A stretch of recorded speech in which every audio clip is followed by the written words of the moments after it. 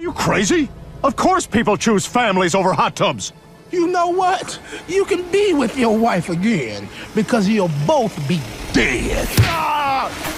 Ah!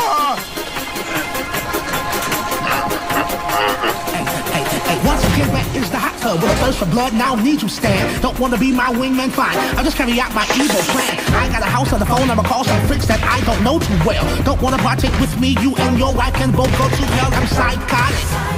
Hot tub. I got it. Locked up. Your mind, body, and your soul. I'm in control. Don't get crazy. I'm letting the bubbles pop. What? I stand.